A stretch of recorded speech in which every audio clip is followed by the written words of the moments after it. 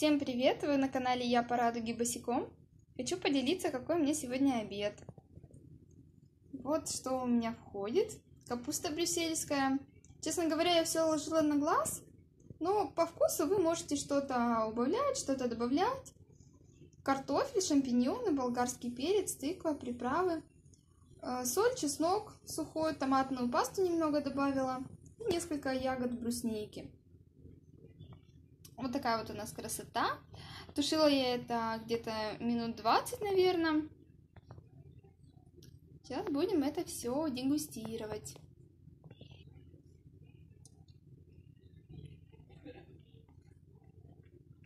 Тыква мне очень понравилась. Получилась такая мягкая, она у меня была замороженная. И быстро приготовилась. Так, сейчас мы шампиньон продегустируем шампиньоны хрустят даже.